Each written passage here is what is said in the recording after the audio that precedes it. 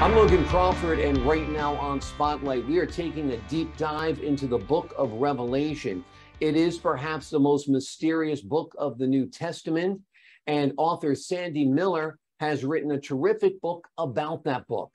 It is called Armageddon's Only Weapon is the Sword of Truth, and we are delighted to have her as a guest today, right now, live on Spotlight. Sandy, good to see you today. Thanks for joining us. Thank you for inviting me. My pleasure. First, let's start off with the title Armageddon's only weapon is the sword of truth. Tell me what that's all about. Well, uh, in sermons about Armageddon over the years, it seemed that God had in mind to destroy his creation. And it seemed to me that if if we had a God who wanted to destroy his, his creation, he wasn't a very good God. So I decided that I wanted to find out if that was true. And I started looking at the book of Revelation and studying it. And after a couple of years, I decided that that wasn't true at all that Armageddon's only weapon is the sword of truth. And the sword of truth was emerging from the mouth of the Christ that was resurrected uh, in the beginning of time as recorded by our calendar. Is there a reference to this sort of truth in the Bible or in the book of Revelation? Yeah, there is. It's um, in Revelation 19 11 to 15. I saw heaven standing open, and there before me was a white horse whose rider is called faithful and true. With justice, he judges and makes war. His eyes are like blazing fire, and on his head are many crowns. He's dressed in a robe dipped in blood, and his name is the Word of God.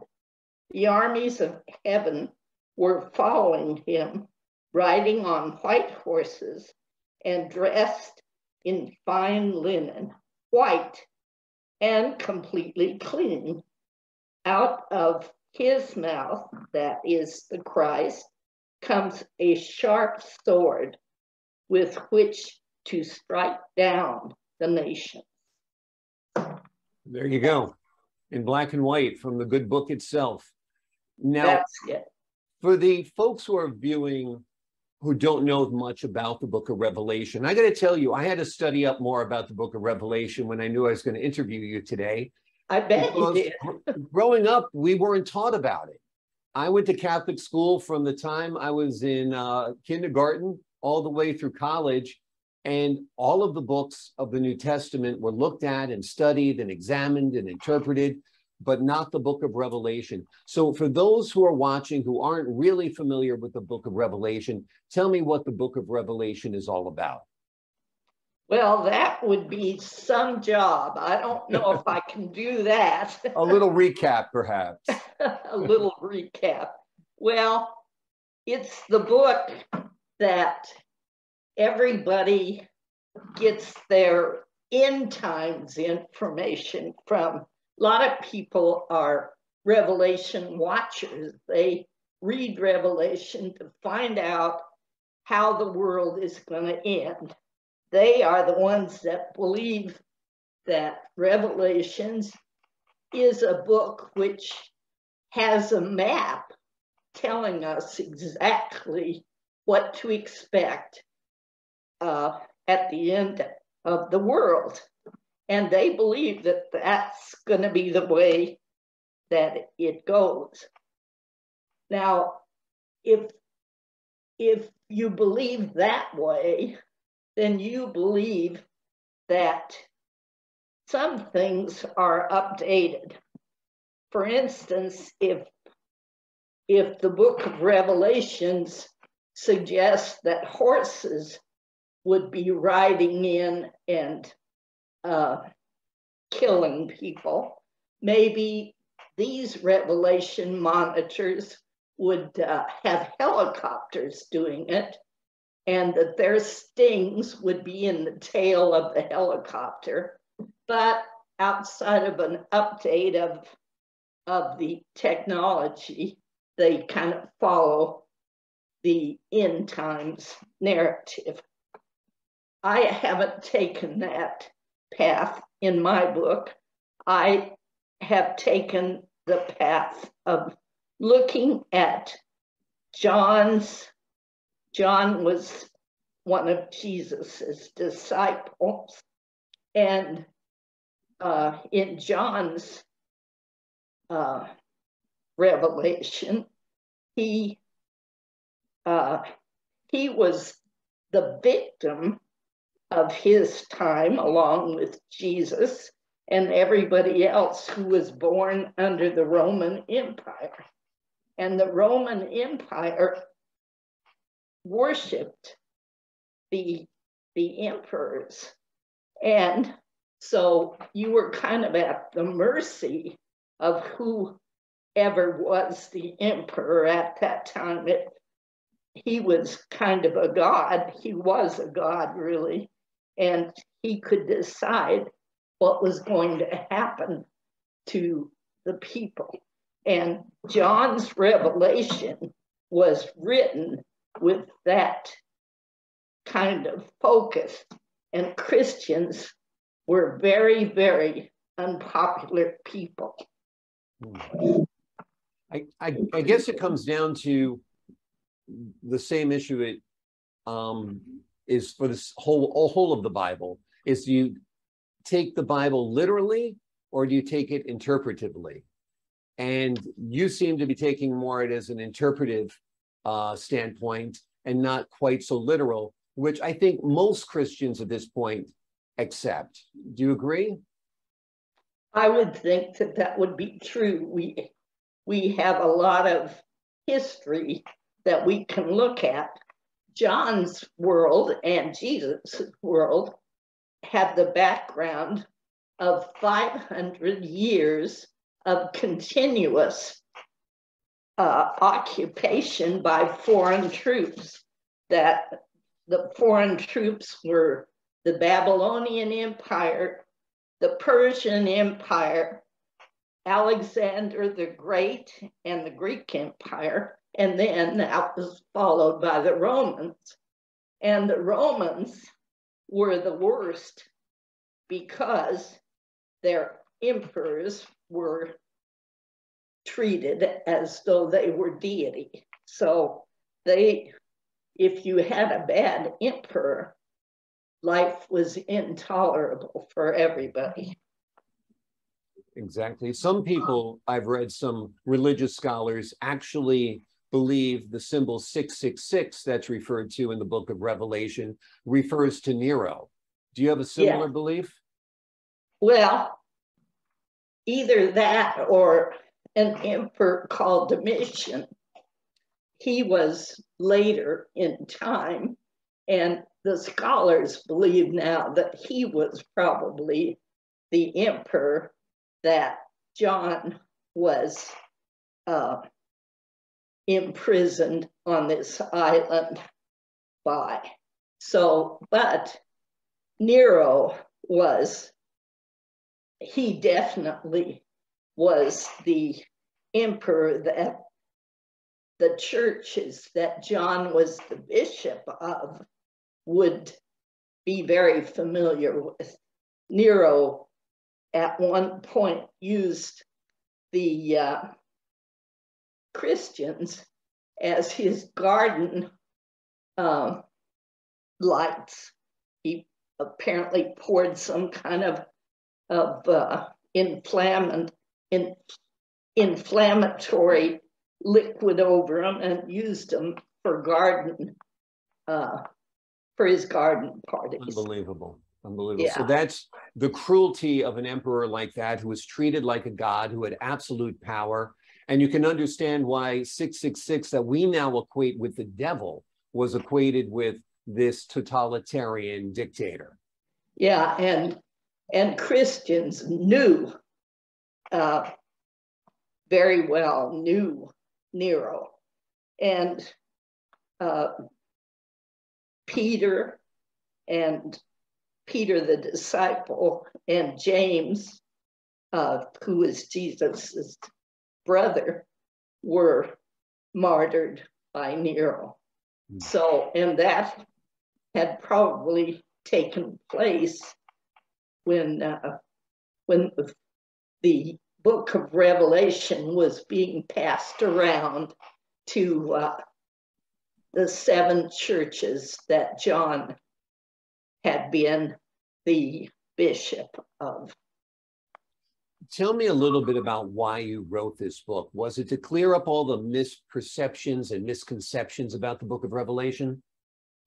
Yeah, I really wrote it for my own benefit because I figured if I was going to stay uh, as a Christian, I had to believe that my God was good and that he would not destroy a creation that he had put in place and that I was safe believing in that kind of God. So I needed a God that was good and I decided Revelation, the book of Revelation, was the reason I couldn't believe that he was good. So I took a couple of years out and really looked into it. And I was satisfied that God is good. And I wanted to pass that on. I felt like the world needs to believe that the God of the Western world is a good God. And I think that my book needs to be read. absolutely, absolutely. I feel the view of the Christian world predominantly today is that our God is a benevolent God, a forgiving God. Um, and of course, that has to do with the teachings of Jesus that are laid out in most of the New Testament. And the book of Revelation, which seems drastically different from the rest from your studies and your interpretation, and it's all documented in this book, really isn't that different, right? It isn't. It's just that John had a really hard task. He had to warn the seven churches, the Christian churches that were being persecuted, and he had to tell them if you think that you've seen persecution, you ain't seen nothing yet. There's more coming. So he had to tell them that. And he still had to hold out hope that there would be good further up the road. So he had a really hard work to do. And I think he did a good job of doing that. And as a, as his reward, since he, while he was bishop of these seven churches, and he there was a circuit that he traveled in uh, between each of these churches, and he sent letters, circuit letters around that they shared, and the book of Revelation was one of those letters that was shared. And he told those churches that they had to, they needed to hold on to their faith because life was hard and it was going to get harder. And they knew that because Nero was in power, probably, or he had, al- he had already been in power, and they knew that that was terrible. But Domitian, uh, one of the churches, the seven churches, uh, one of the people that Domitian, uh, he roasted him in a, in a, uh, well, I don't know what he used to roast him in, mm. but he roasted him to death. And he was one of the martyrs. But John was in that, in the island as a punishment because he kept telling everybody that Jesus was the Lord and Jesus was the King and Jesus is alive. He's been resurrected. Well, the Roman emperor didn't like to hear that because they were the ones that had to put Jesus to death because the uh, Jews didn't really have that power. They couldn't put anyone to death. So they had to get Rome to do it for them.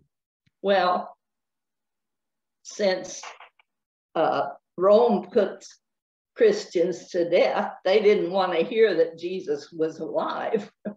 so, and especially since the emperor was supposed to be a deity and worshiped and the final authority in anything.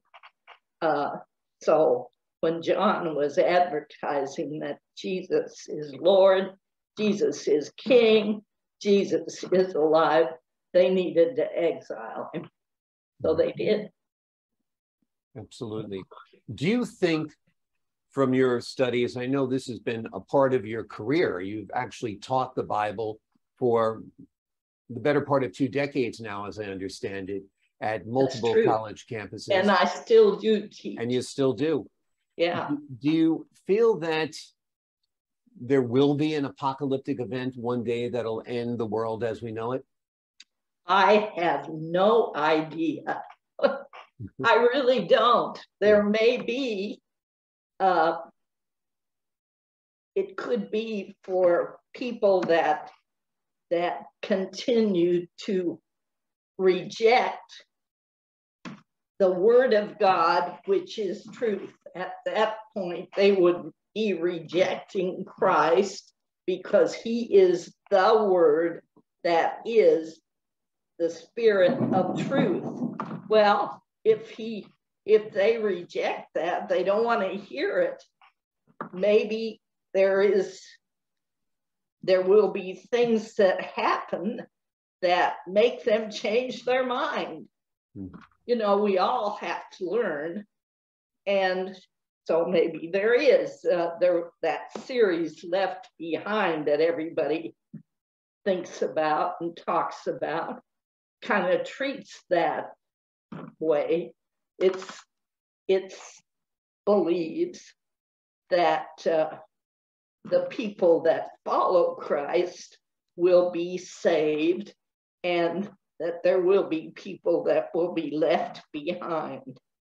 Well, I don't subscribe to, to the Left Behind series, but I can see that there might be people that have lessons to learn and that their life uh, might not be very pleasant if they if they don't want to believe in kind of truth that will make them free of sin, sickness, disease, suffering, death, then at that point, maybe there will be uh, end time problems. I don't know. Yeah. I have no idea. It's one of the mysteries of life.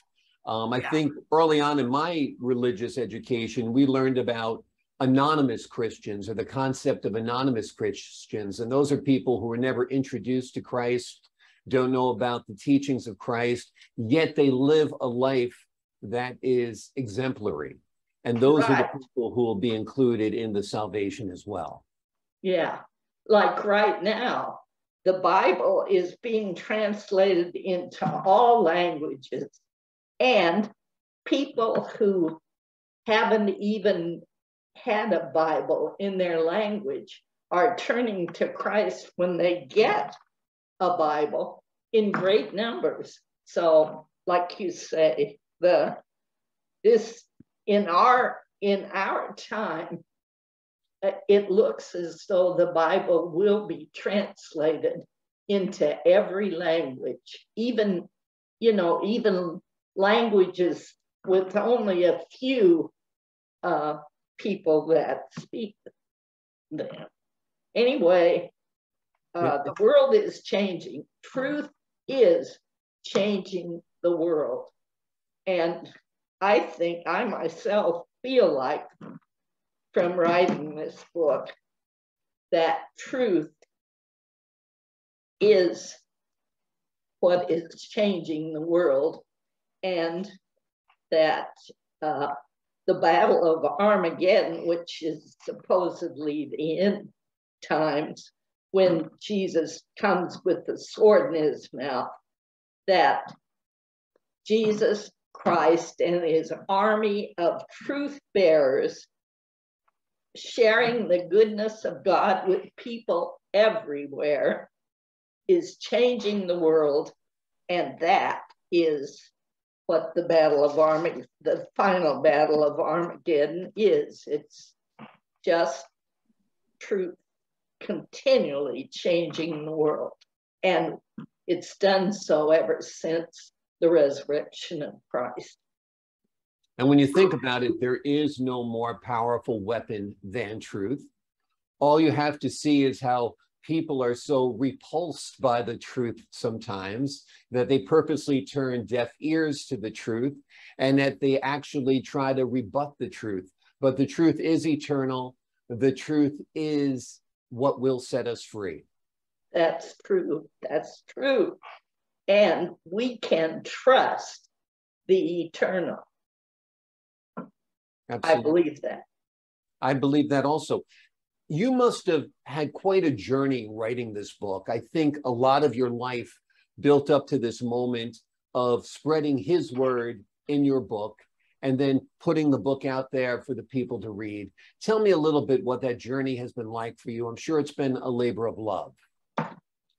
Well, I've I've been a student of the Bible all my life, and I've taught it to every age group, just about, from three year olds to senior citizens. So, and even to uh, special needs students. In the in the 1960s, I